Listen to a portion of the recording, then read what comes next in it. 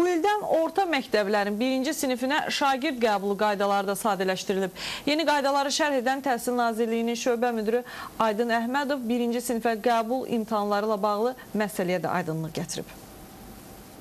Birinci sinifə gedəcək uşaqlar yaşadıkları ərazi üzrə orta məktəblərə qəbul edilməlidir. Orta ümumi təhsil məktəbləri ərazi üzrə uşaqları birinci sinifə qəbul etməkdən imtina edə bilməz. Bütün bu qaydalar Təhsil Naziri Mikail Cabbarov tərəfindən təsdiqlənib və ümumi təhsil məktəblərinə mövcud olan qəbul qaydalarına bəzi dəyişikliklər edilib. Ən mühüm dəyişiklik isə birinci sinifə gedəcək uşaq üçün məktəb tərəfindən tələb olunan sənədlərin sayı azaldılıb. Bu sənədlərin siyahısından e, valideynin yaşayış yeri haqqında arayış, eyni zamanda uşağın doğum haqqında şəhadətnaməsinin notarial qaydada təsdiq olunmuş surəti və eyni zamanda uşağın məktəbə hazırlıq keçib-keçməməsi barədə arayış o sənədlərin içərisindən çıxarılıb.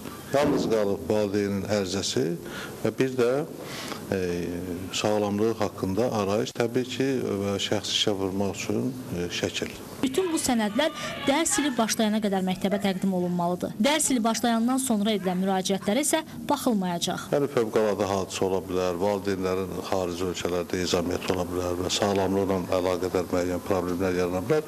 Bu cür hallar nəzərə alınmaqla sentyabrın 15-dən oktyabrın 15-nə qədər, yəni bir ay müddətində əgər elə üzrlü səbəb olarsa nəzərə almaq olar. Övladları birinci sinifə edəcək valideynlərin imtahan həyəcanına da münasibət bildirən şöbə müdiri deyir ki, imtahan yalnız lisey tipli məktəblər üçün nəzərdə tutulub. Bu isə xüsusi təmayüllü olan məktəbə plan yerlərinin az, müraciətin isə çox olması ilə əlaqədardır. O ki, qaldı ümumi təhsil məktəblərində, burada uşaqları heç kim imtahan ilə məktəbə götürə bilməz.